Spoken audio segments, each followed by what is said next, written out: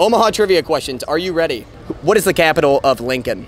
Lincoln's our capital. That a boy trick question. What was the ballpark's name here before it was Charles Schwab? AT&T Stadium. Oh wait, no, no, no. That is the isn't, isn't that the Giants? TD Ameritrade. That a boy. Okay. I'm going to show you th- these answer choices right here. Which of these is not Omaha born? Fred Astaire, Marlon Brando, and Brad Pitt. The only person I've ever heard of is Brad Pitt. Yeah, Going Brad Pitt? yeah. yeah. What music festival is held every year at Stinson Park? I think it's I think it's Maha. You think it's Maha? was letting big. I don't All right, we're going to go with Maha. All right, you're starving. You need a sandwich. Where do you go? Jimmy John's. Jimmy John's. Guys, it's probably Runza. Yeah, but you go to Jimmy John's. yeah, what? Which famous sporting event is held in Omaha every year?